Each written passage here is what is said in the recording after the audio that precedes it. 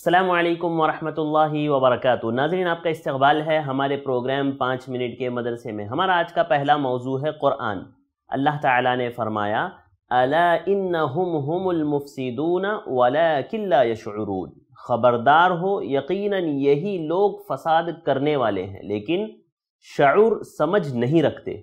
अल्लाह ताला ने इनके इस जाम बातिल की तरदीद की कि उनसे बढ़कर फसादी कौन हो सकता है? यानी ये जो मुनाफिकीन की जो बात चल रही है और इससे बड़ा फसाद क्या हो सकता है कि अल्लाह ताला की आयतों का इनकार किया जाए, उसके दीन से लोगों को रोका जाए, अल्लाह और उसके अलिया को धोखा दिया जाए और उसके दुश्मनों से दोस्ती की जाए? जो मुनाफिकीन की आदत थी, ये मर्ज निफाक में मुबतला होने के सबब हक व बातिल के दरमियान तमीज़ की हिस्स जो एहसास होता है, वो खो चुके हैं। इसीलिए ज़मीन में फसाद फैलाने को इसलाह समझ रहे हैं।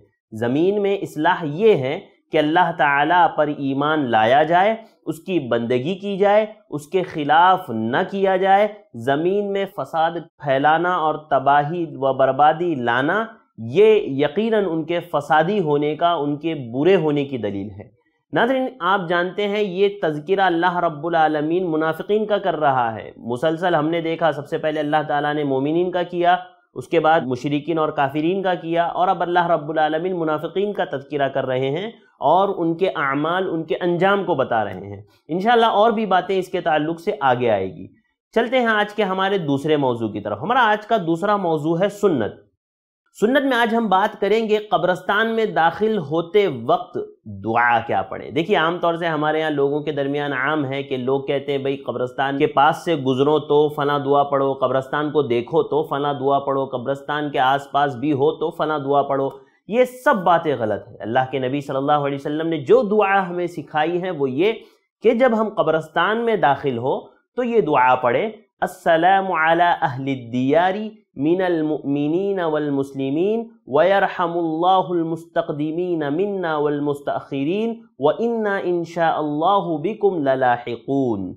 ये दुआ है जो कब्रस्तान में दाखिल होने की है। इसका तर्जुमा ये है, कहो सलाम है ईमानदार घर वालों पर और मुसलमानों पर। अल्लाह हमसे आगे जाने वालों पर रहमत फरमाए और पीछे जाने वालों पर हम इन तुमसे मिलने वाले हैं। यानी ये लोग कहते हैं, भाई, ये सलाम है और उसका जवाब कब्र वाले देते हैं। हम, देखिए, किताब व सुन्नत में कहीं भी इसकी सराहत आपको नहीं मिलती है कि, भाई, ये क्या मुर्दों को सलाम किया गया है? क्या वो उसका जवाब देते हैं? नहीं, बल्कि हमें ये सिखाया गया है कि जब भी हम कब्रस्तान में दाखिल हो, ये दुआ पढ़ें। ये कब्रस्तान में दाखिल होने की दुआ है, इसको हम पढ़ें। यकीनन ये एक सुन्नत है, बहुत ही अच्छी सुन्नत है। इस पर अमल करने से हमें यकीनन अजर मिलेगा। नाजरीन, उम्मीद है आपको हमारी ये प्रोग्राम पसंद आ रहा होगा। आपसे गुजारिश है आप हमारे वीडियो को लाइक करें, कमेंट करें, शेयर करें। हमारे चैनल को सब्सक्राइब करना हरगिज़ ना भूलें, ताकि आपको हमारी अपडेट्स मिलती रहें।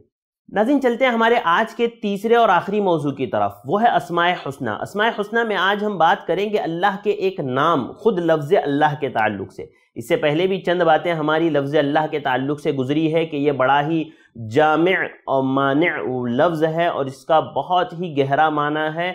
बहुत ही अच्छा अल्लाह रब्बुल के साथ ख़ास है ये नाम। और अल्लाह अज्जा अज्जल ही सच्चा मबूद और काबिल इबादत है, जो अपनी तमाम मखलूक़ पर इबादत व बंदगी का हक़ रखता है। क्योंकि वो उलूहियत की उन खूबियों से मुतसिफ़ है, जो कमाल की खूबियाँ हैं। और ये तमाम, यानी तमाम नाम जो है ना अल्लाह रब्बुल आलमीन की, ये अल्लाह के अलावा जितने भी नाम हैं, वो सब उसी की तरफ़ पलटते हैं। चुनानचे ये कहा जाएगा कि रहमान ये अल्लाह के नामों में से है। बल्कि ये नहीं कहा जाएगा कि अल्लाह रहमान के नामों में से। समझ में आ रही है बात?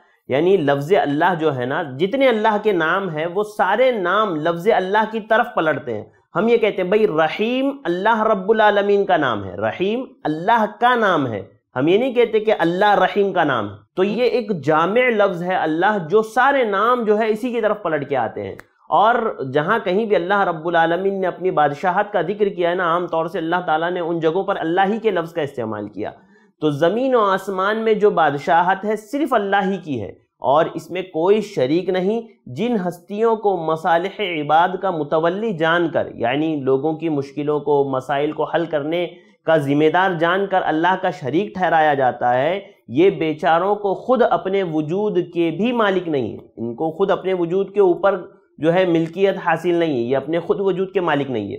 वो एक जर्रा भी पैदा करने का इख्तियार नहीं रखते। अल्लाह ताला ने फरमाया, इनिल हुक्म इल्ला कि फरमा रवाई सिर्फ़ और सिर्फ़ अल्लाह ताला की ही है।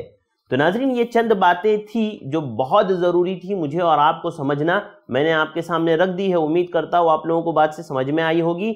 आप ज़रूर इन बातों को याद रखिए, इस पर अमल कीजिए। अल्लाह ताला से दुआ करते हैं। अल्लाह ताला मुझे और आपको अमल की तोफ़ी अता फरमाया अमीन असल वरहमल वबरक दीन की बात आम करने में आई प्लस टीवी की मदद करें।